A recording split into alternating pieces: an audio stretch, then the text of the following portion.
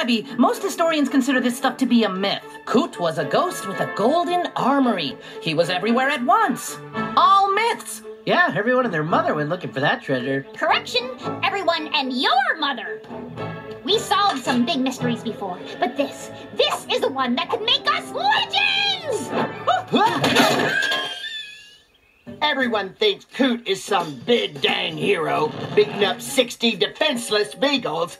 But we're gonna set things right, force the tour guide to give up the goods, and reclaim the treasure of Fort Beagleburg!